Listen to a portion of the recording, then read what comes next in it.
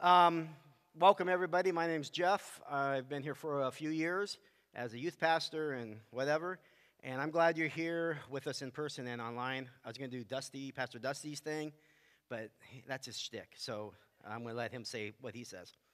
Um, I like to do uh, some uh, stuff about where we're at with the youth group, what's going on in the life of the youth group. I can't take it for granted that you know everything. I do have a, a Monday email that I send out every week um, I don't know, it's maybe 18 years straight now, 15 to 18 years, every Monday, almost without fail. Um, even when I don't feel like I do it, I feel, when I don't feel like it, I do it. Um, but if you'd like to get on that email list, uh, well, figure it out and we'll put you on it. Um, but uh, yesterday was our district Celebrate Life, formerly known as Momentum. And uh, it was a great day. Uh, we had quite a few students go up there and participate. Um, yes, yes, yes, yes, almost all of them. And uh, what a great day to, number one, see kids use their talents, their abilities, their gifts to bring glory and honor to God.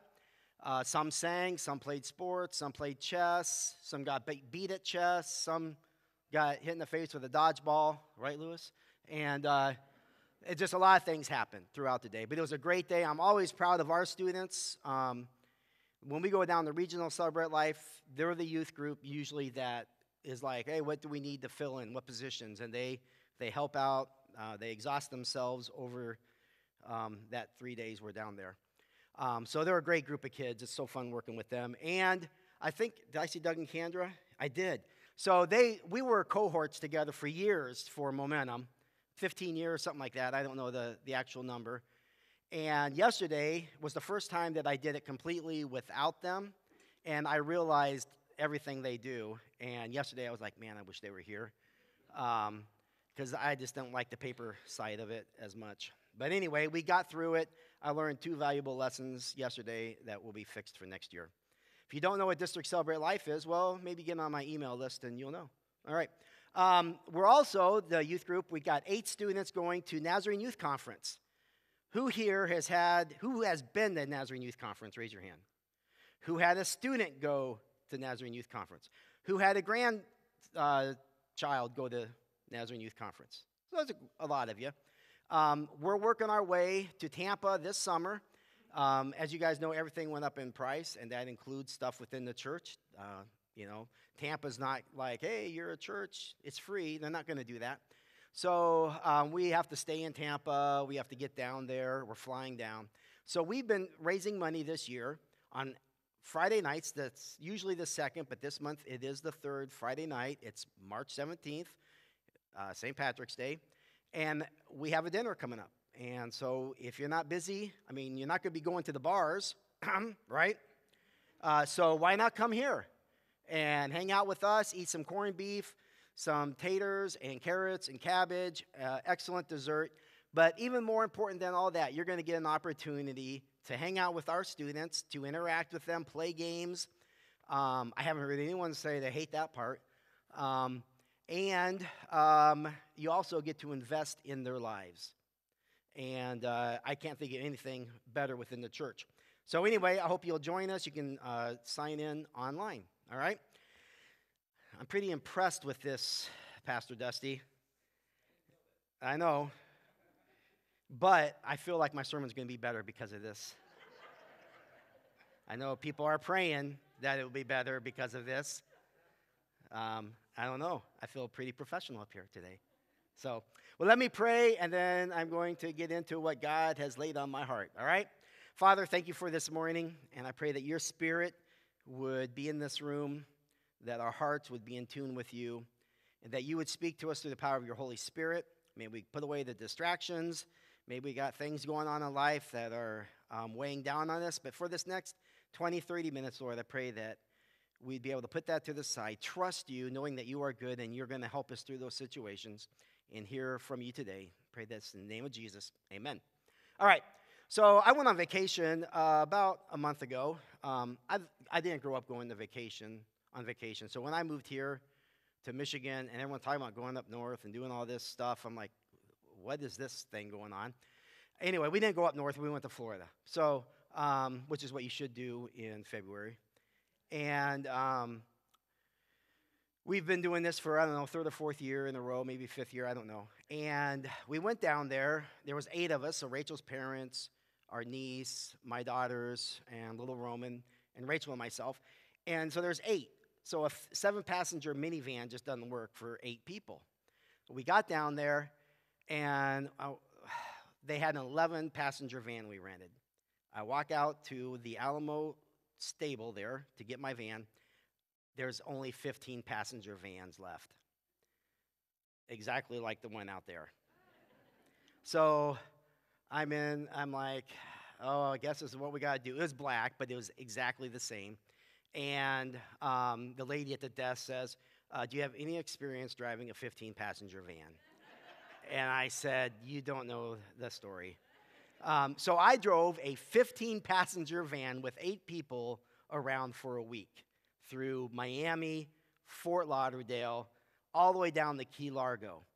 And funny story, we went uh, on a glass bottom boat to watch um, stuff you really can't tell what it is.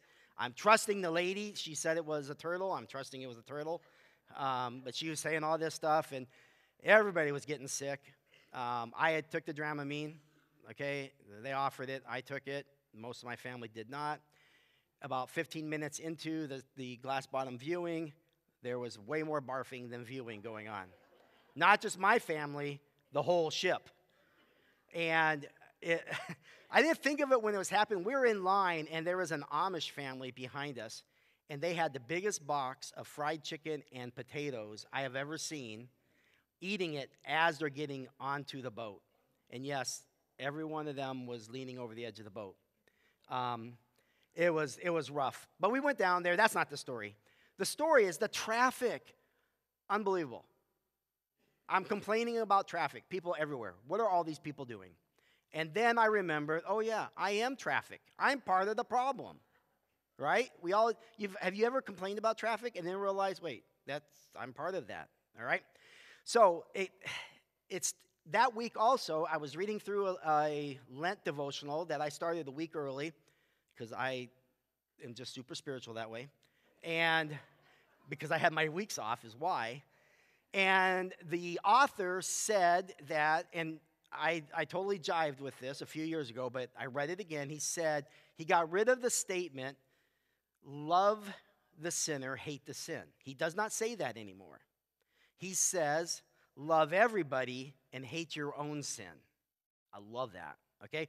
But I'm sitting there thinking the old statement, love the sinner and hate the sin, I'm thinking, you know what? We're all sinners. It's like the traffic. I'm traffic. We are all in this together. At one point or another, you hit an entry ramp onto salvation. There is a part of our lives where we are sinners. Okay? And so today I want to read from a um, the book of Luke, chapter 18. This is the story of the Pharisee and the tax collector. And what I'm going to do, I'm going to read it in the NIV and then I'm going to read it in the message, and then I'm going to try and go through it using the message a little bit. All right? So just hold on today. Um, hopefully, it all comes together. I don't know if I mentioned this. I was at Momentum all, or Celebrate Life all day yesterday, and uh, so I didn't do much of this yesterday, but I tried to be proactive on Thursday and get this done. So here we go. You ready? All right. To some who were confident of their own righteousness and looked down on everyone else, Jesus told this parable. Two men went up to the temple to pray, one a Pharisee, the other a tax collector. The Pharisee stood by himself and prayed, God, I thank you that I am not like the other people, robbers, evildoers, adulterers, or even like this tax collector. I fast twice a week and give a tenth of all I give. I get, but the tax collector stood at a distance. He would not even look up to heaven, but beat his breast and said, God, have mercy on me, a sinner. I tell you that this man, rather than the other, went home justified before God. For all those who exalt themselves will be humbled, and those who humble themselves will be exalted. Some tough words, all right?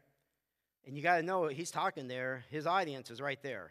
All right, you know, in, if you read the scriptures, stones were everywhere. I don't know what, where they were, but every time someone said something wrong, stones were available to be picked up and thrown I don't know if they carried them or what. They, you know how baseball players have bat bags? Maybe Pharisees have stoning bags. I don't know. But anyway, let's read this from the message, all right? He told this story to some who were complacently pleased with themselves over their moral performance and looked down their noses at the common people. Two men went up to the temple to pray, one a Pharisee, the other a tax man. The Pharisee posed and prayed like this O God, I thank you, I am not like other people, robbers, crooks, adulterers, and heaven forbid, like this tax man. I fast twice a week and tithe on all my income. Meanwhile, the tax man, slumped in the shadows, his face in his hands, not daring to look up, said, God, give mercy and forgive me, a sinner. Jesus commented, This tax man, not the other, went home made right with God. If you walk around with your nose in the air, you're going to, get, you're going to end up flat on your face. But if you're content to be simply yourself, you will become more than yourself. God bless Eugene Peterson. What a great uh, translation that is.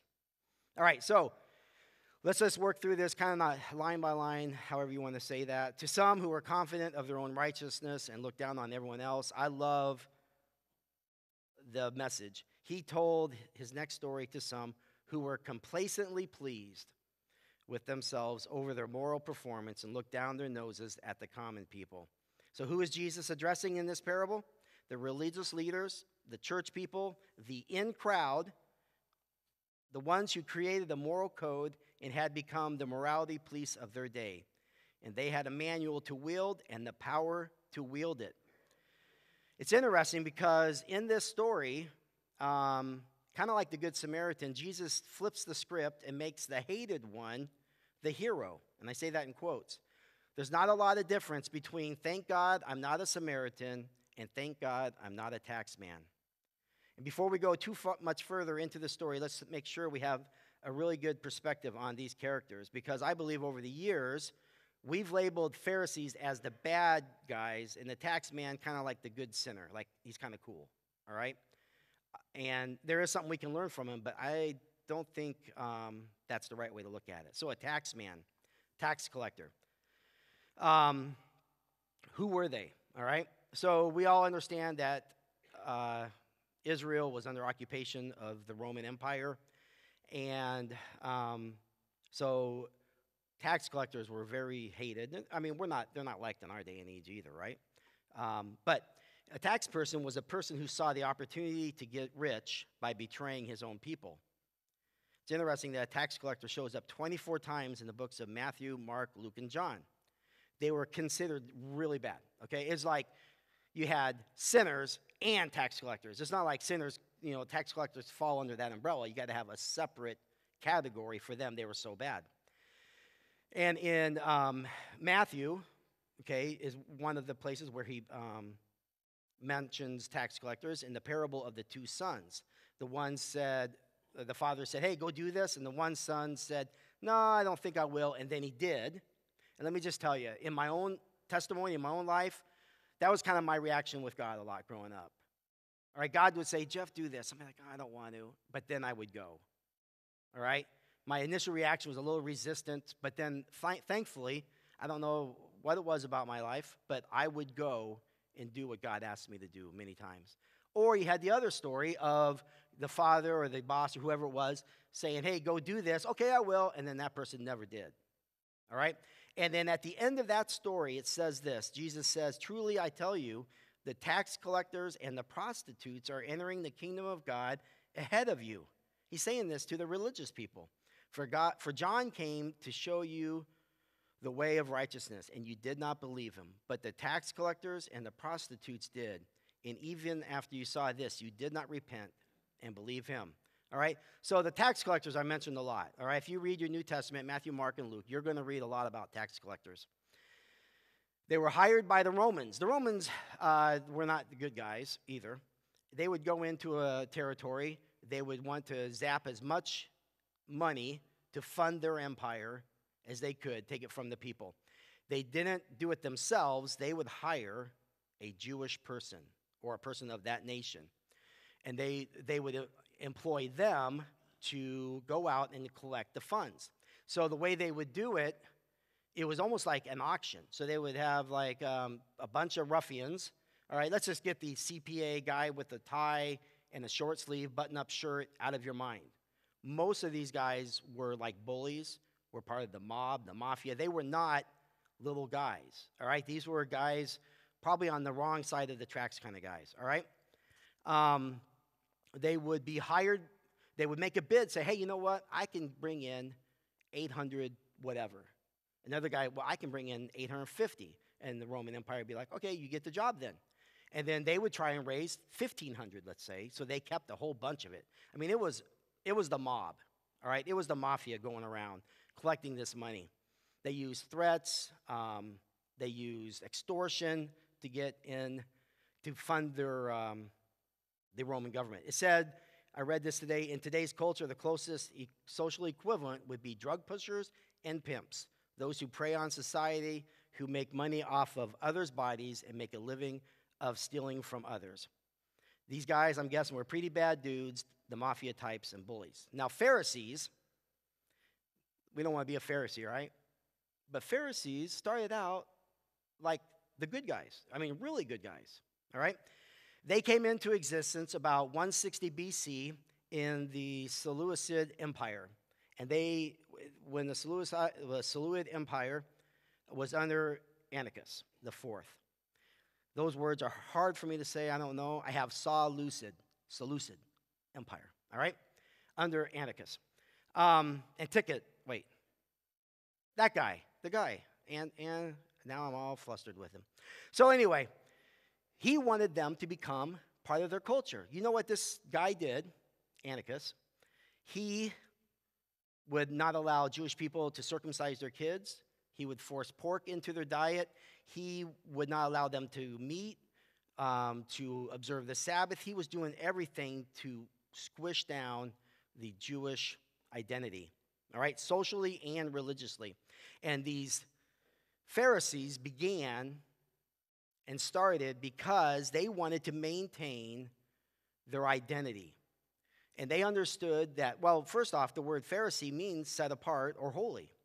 Okay? And so they wanted to keep their identity. And so they started helping the people by, with good motives, to observe the things it meant to be a Jewish nation following Yahweh. All right? So it started with good intentions, but like most human endeavors, it became an institution. And by the time of Jesus, they had become the morality police. Here's something interesting is Jesus is probably closest to the, the Pharisees. And that's why I believe he had the hardest words for them. He was rough on them. They had lost focus, lost a beat, and were out of step with the will of God. The Pharisee, most of us agree, would regard him as a good man. He was committed to his local synagogue or church. He paid his tithes. Pastor Dusty, you like that? I like that, right? He was a family man. They took marriage seriously. He was serious about his faith. He was committed to God and his nation. The tax man, on the other hand, well, how do you guys respond to a letter from the IRS? Right, enough said. If this is a story about a good guy and a bad guy, the Pharisee is definitely the good guy in this story. So, as the story continues, it says two men went up to the temple to pray one a Pharisee, the other a tax man. Two sinners. I know, I know, I'm going to get pushback but we're all saints. I do, I get that. But you know, being a saint, it's good to have the right perspective on where we came from. All right? And I just remembered, oh, darn. I was going to have stickers today that said, hello, my name is, and I was going to have a sinner on it. And I was going to pass it out and just do a social experiment to see how many of you would put it on and identify that way, and how many of you wouldn't. And I forgot. I'm going to blame District Celebrate Life. All right? But I say that we all are sinners. We all started that way. We all are sinners saved by grace. In my journey as I follow Jesus, I you're not going to believe this. I said a prayer when I was young, and I have not been perfect since then. I know. Um, shocker. I actually have stumbled my way as I continue to follow Jesus. It has not been pretty. There have been times where I have blown it so so badly that if it weren't for my upbringing, I probably would have said, God, you can't, he can't be with me anymore. He just won't want to be with me anymore.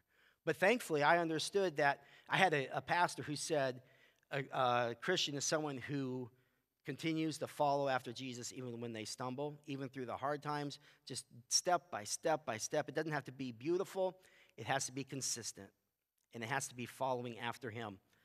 Um, and so, as I'm sure as many of you have been, I'm, I do not think I say all of you, but I'm sure most of you, as we are following after Jesus, we sin. We do. We have those times when we fail. We don't reach the mark that God wants us to, to reach. And so I think it's okay to say a sinner like me. Okay? Um, we all are in that boat. So both the Pharisee and the taxman were sinners, and both were praying to God. The Pharisee posed and prayed like this uh, Oh God, I thank you that I am not like other people robbers, crooks, adulterers, and heaven forbid, like this tax man. Have you ever prayed and you're more concerned about what's happening over here? Right? I mean, that's a bad sign right there. All right? I fast twice a week and tithe on all my income. All right, I am 50. I just turned 55 this past week. I know. I don't, I feel it, but I don't feel like I look like it. Not the reaction. Okay. Um, Calissa, you don't get to answer that. She's like, Jeff, you look old either way. I shaved my beard off, and everyone was like, ah. And I'm like, so in my 55 years, I've been in church every, all the time. Like the very first Sunday I was alive, uh, my mom and dad drugged me to church. I have heard a lot of bad prayers in my time in church. I have prayed a lot of bad prayers. I'm sure some people are like, ugh, all right? Many times a prayer is just a second sermon. Those are the worst.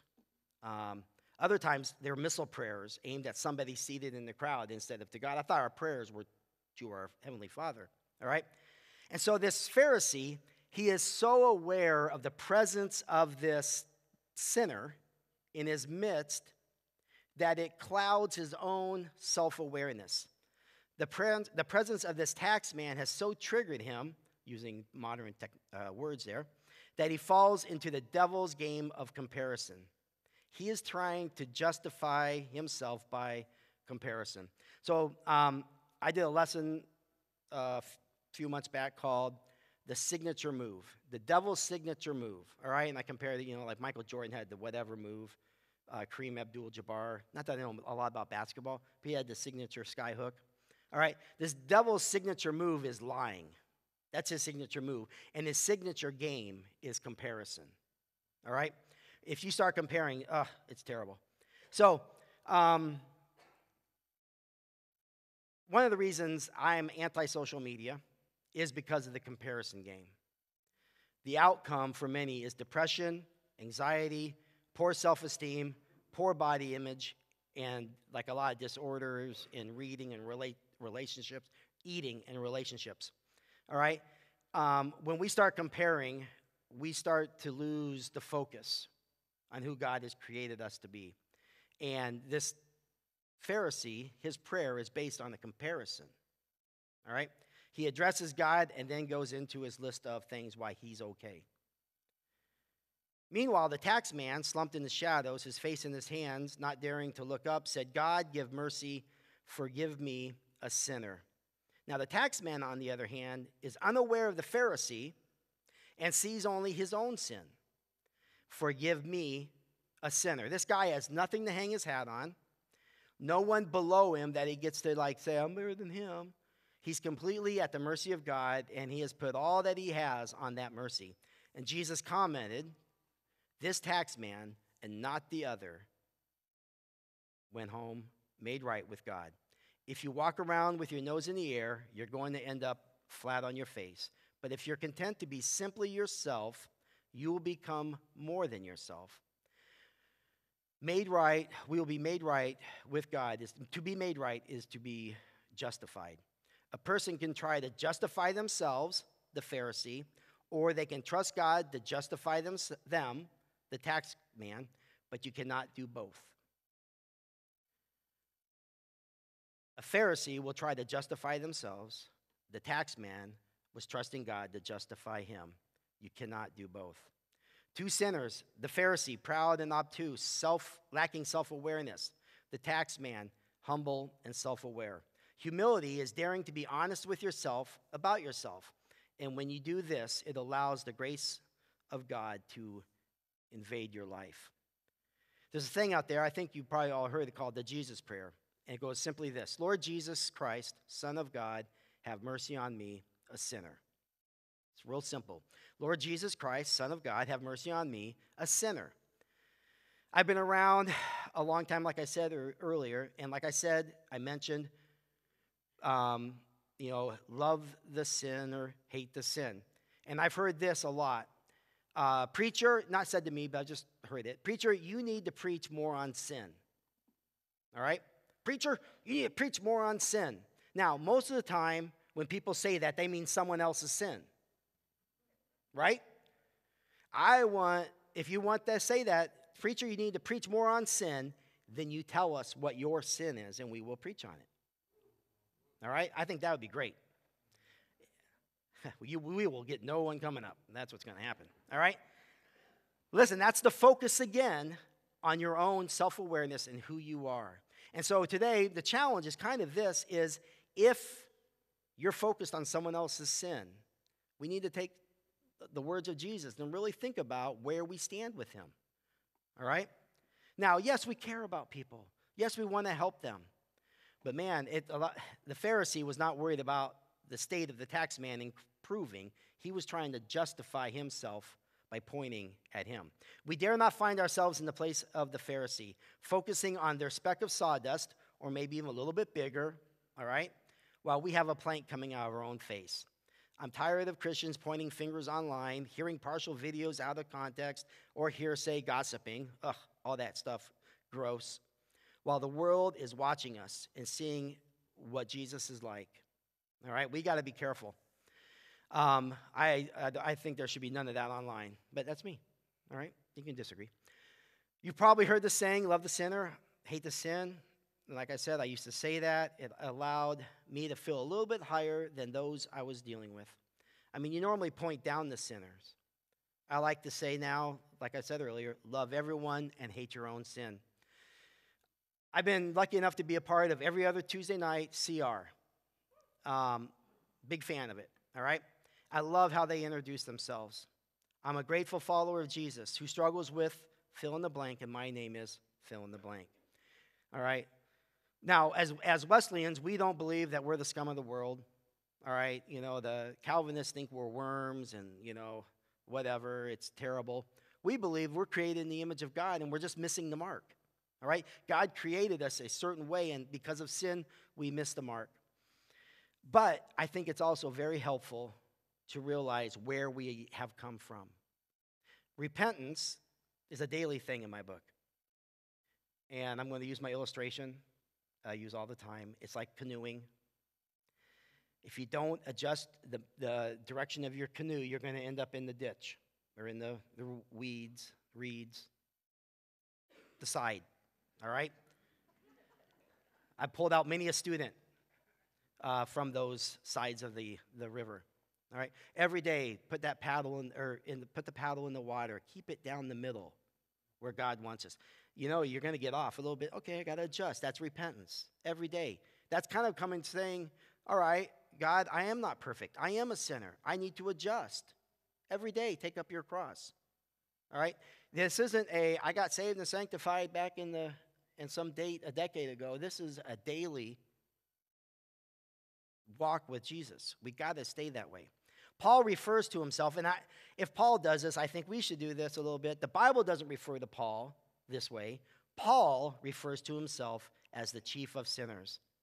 The guy who wrote the, most of our New Testament refers to himself this way. And I think if he's doing that, um, you can come on up, uh, we should do that as well. All right? So, what's the goal? What's the purpose of this story? Jesus is trying to break down our pride. We can't earn, we can't merit God's grace. He's trying to point out that we need to have the right attitude in prayer. Our works, I think the scriptures say, are like dirty rags. They really don't hold up. We can't, they can't measure up to what God is asking us. Jesus shows us how we should pray, not with pride, comparing ourselves to others, but in humility, need, needy for God's mercy. We need to be honest with ourselves and about ourselves. And the kingdom of God is made up of people who love everyone and hate their own sin. Let's pray.